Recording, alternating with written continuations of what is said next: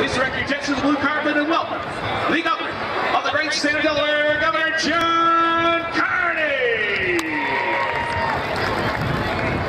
That's a strut from Governor John Carney. What'd you think of your first pitch? I think I got it over the plate, so uh, not so bad.